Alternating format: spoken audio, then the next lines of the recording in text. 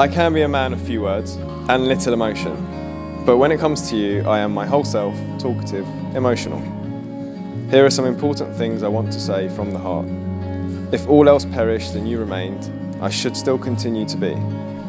And if all else remained and you were no more, this universe would become a mighty stranger. Our story will be one we write together, and in this chapter, like none other, I get to marry the woman I love.